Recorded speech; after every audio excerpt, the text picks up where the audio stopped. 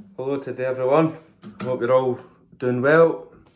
So today I'm going to sing you a song, another song from the Corries and this one's called the Bricklayer's Song. And if you've not heard it before listen carefully because there's a lot of words in it. Um, but if you get manage to understand it all and get to the end it's sure to give you a giggle. So um, that's my aim this morning, to give you a laugh. So here goes, the Bricklayer's Song.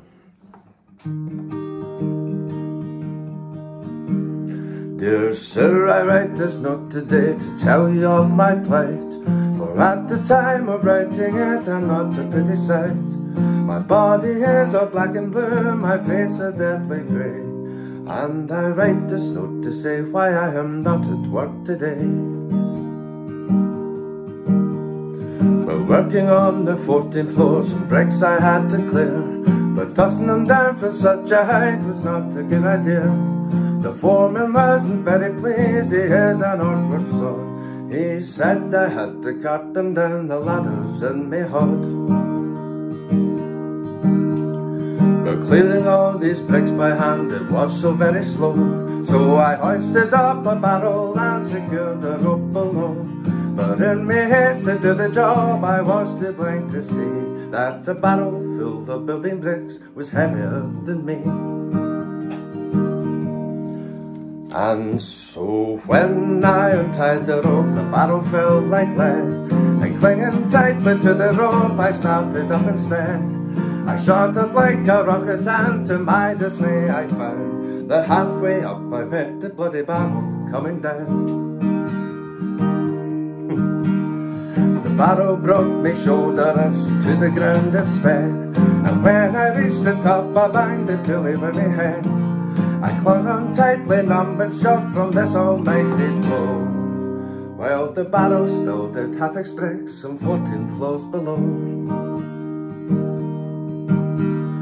And when these bricks had fallen from the barrel to the floor I then I read the barrel and so started down once more I clung on tightly to the rope, my body racked with pain. And halfway down I met the bloody barrel once again.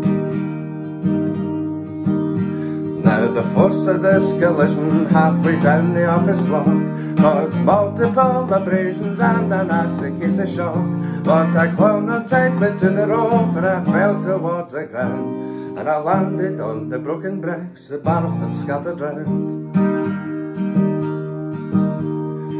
As I lay there on the ground, I thought I'd passed the worst. The barrel hit the pulley wheel and then the bottom burst. A shower of bricks rained down on me, I didn't have a hope. As I lay there bleeding on the ground, I let go the bloody rope. The barrel now been heavier, so started down once more. It landed right across me as I lay there on the floor. Broke the ribs in my left arm and I can only say I hope you'll understand why I am not at work today